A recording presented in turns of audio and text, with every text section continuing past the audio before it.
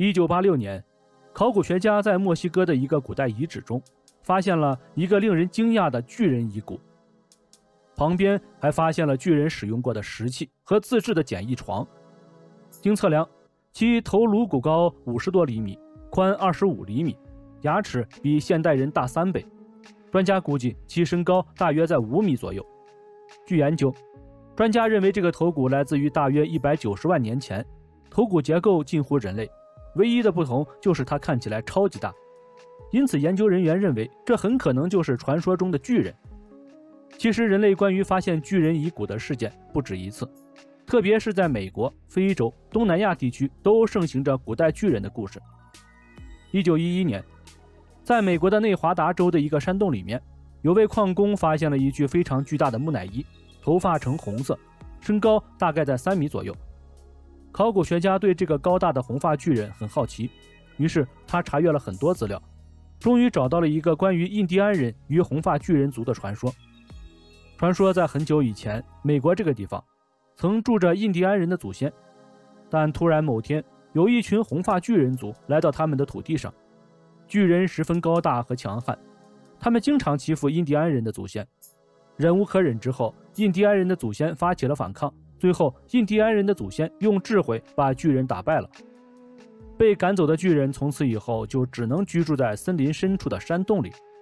如果这个传说是真的话，那么这具红发巨人木乃伊有没有可能就是那时被虏获的红发巨人呢？对此，专家表示有可能。但由于年代已久，这些都无从考证了。此外，在瑞士因特拉肯的神秘公园里，也展出了一个身高达七米的巨人骸骨。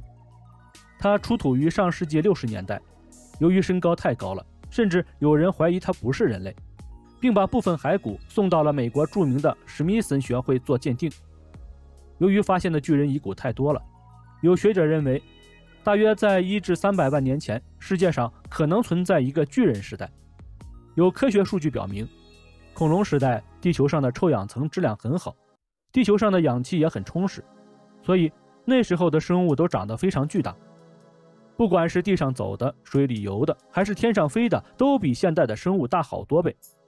当然，巨人族不可能生活在恐龙时代，他们是在恐龙灭绝之后才出现。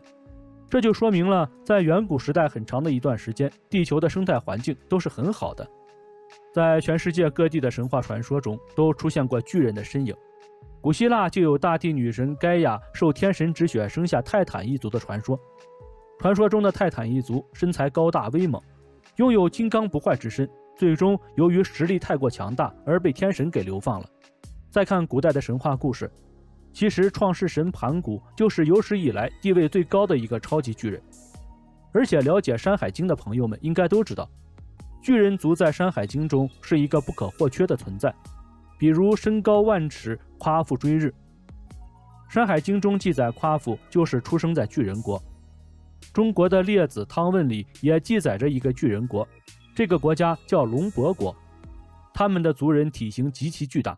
他们进入大海，海水尚不能及腰，但后来由于巨人族四处作乱，天帝很生气，就下令缩小了巨人族的身高。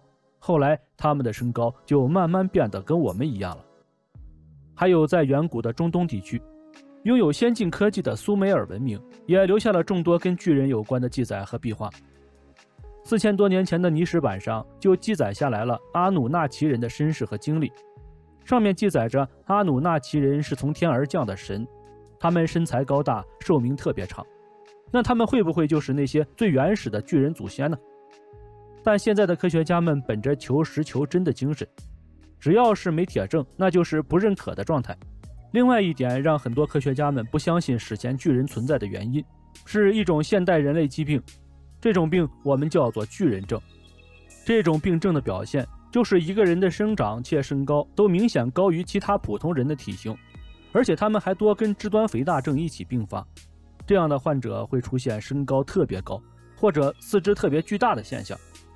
所以一些科学家就认为，我们现在发现的一些古代巨人的化石很可能是一些当时患有疾病的人类骨骼并不能证明过去真的有巨人这个种族存在过。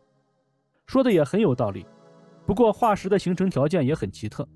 如果说这些疾病本身就十分罕见那么这类患者的骨骼又刚好变成化石的几率又有多少呢？